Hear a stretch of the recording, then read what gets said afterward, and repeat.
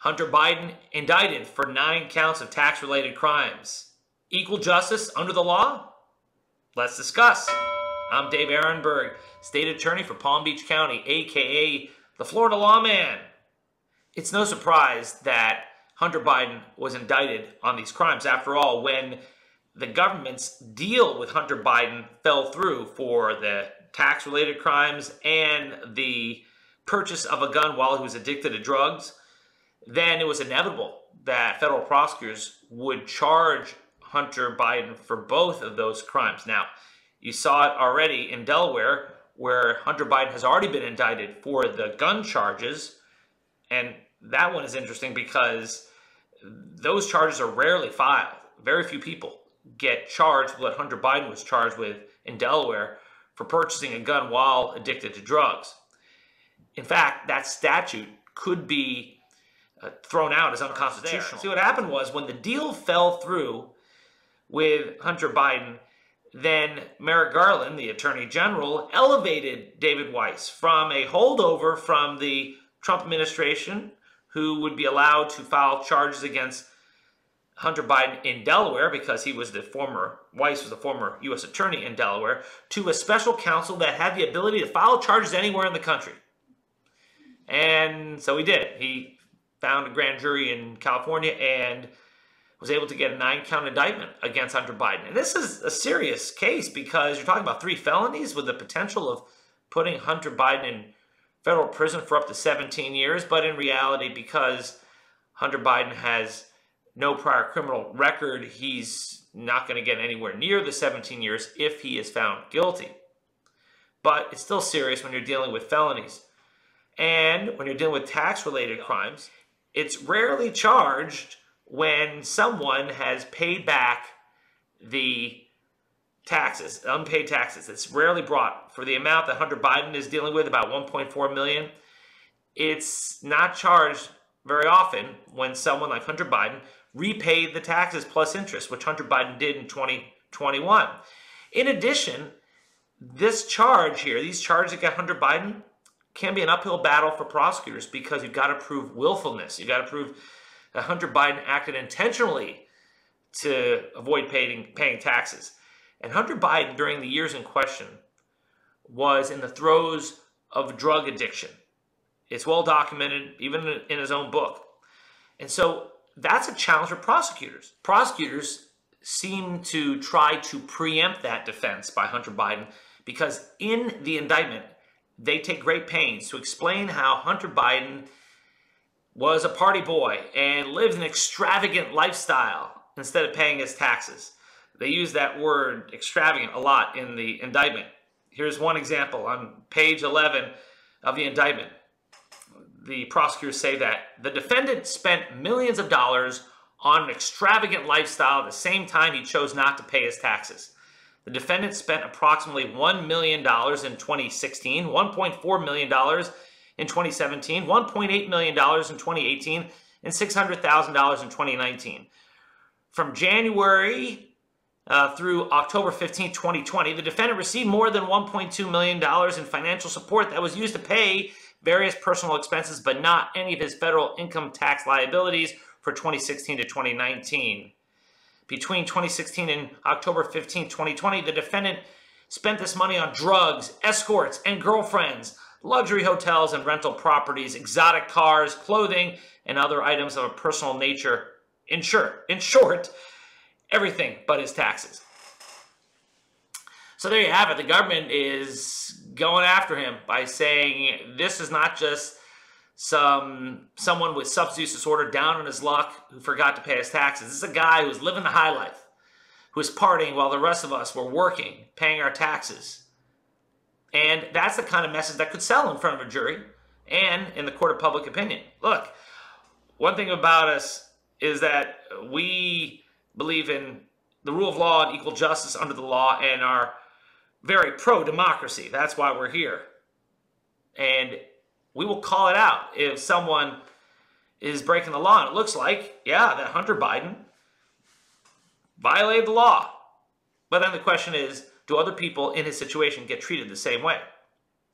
Hunter Biden's defense is going to be number one. He was in the throes of addiction, so his conduct in avoiding taxes was not willful or malicious. And number two, he repaid the unpaid taxes. He made the government whole. Now, that is not a pure defense to these tax related crimes. But juries and judges will often feel sympathetic towards a defendant who has made amends. And Hunter Biden here has made amends financially. So you've got these challenges for prosecutors. And that's why I'm a little surprised that they decided to move ahead with these charges. I know that it was inevitable after the deal fell through, but these are nine counts, three felonies, up to 17 years in prison for someone who's repaid the taxes, someone who is in the throes of addiction, and someone who could claim that he is being unfairly targeted. Not that Merrick Garland hates Hunter Biden or is trying to, you know, hurt President Biden, but the lawyers for Hunter Biden could argue selective prosecution that the only reason why Hunter Biden is facing these charges is because his last name is Biden. If his name was Hunter Smith, they could argue that these charges would never have been brought. Because Merrick Garland is very sensitive about being called political. We've seen this time and time again. And so the argument would be that the Attorney General is overcompensating, that he wants to prove that he's giving no one special favors. That's why he kept on David Weiss, a Trump holdover who was a U.S. attorney in Delaware, to investigate the president's son. That's why after the deal fell through, he elevated David Weiss to special counsel where he could prosecute this case anywhere in the country. And so that is an argument that could resonate with the jury. So this case is no slam dunk by any means for prosecutors. Another thing that this prosecution shows is that the whole argument that the Department of Justice has been weaponized by the Biden administration to go after Donald Trump and the MAGA movement is a complete farce. I mean, as I said, you've got an attorney general who is apolitical, who doesn't want to ever be labeled as political. And so, if anything, he is overcompensating here. That's a, a possibility. But at the very least, this is not a weaponized DOJ against Donald Trump. Can you imagine if the Attorney General under Donald Trump tried to investigate and prosecute Trump's kids? That Attorney General would be fired yesterday and perhaps sent to Gitmo. There is no way that Trump would ever allow this. And so you have here President Biden watching as his Attorney General has now indicted through the Department of Justice his son, his own son. And there's not even a discussion that President Biden would intervene. There's not even a discussion that he would use his pardon powers, which are broad. He could pardon Hunter Biden today and set him free, but he won't because he believes in the rule of law. Now, he compare that to the former president's Department of Justice under Bill Barr, who's on his reclamation tour out there. But don't forget that under Bill Barr, they gave special treatment to some of Trump's allies, like Roger Stone when he was being prosecuted, uh, like Michael Flynn when he was being prosecuted. Paul Manafort was let out on compassionate release during COVID to home arrest, home confinement, when Michael Cohen, an enemy of Donald Trump, was sent back into prison because he was writing a book about Donald Trump. So when you say that there's a weaponization of the Department of Justice under Joe Biden against Trump, that's projection, and it's just patently false. And as for the claim by Hunter Biden's lawyers that if Hunter Biden's name was Hunter Smith, this case would never have been brought, well, it is rare for prosecutors to bring cases in situations like this. I mean, look at Roger Stone, Trump's close ally who was sued by the federal government in 2021. The Department of Justice filed a civil lawsuit for unpaid taxes to the tune of $2 million. Did they prosecute him for it? Nope. No criminal charges were filed. In fact, a year later, the government reached a settlement with Roger Stone where he paid back the money plus interest and, and fines, but no criminal prosecution. Another example, how about Rudy Giuliani?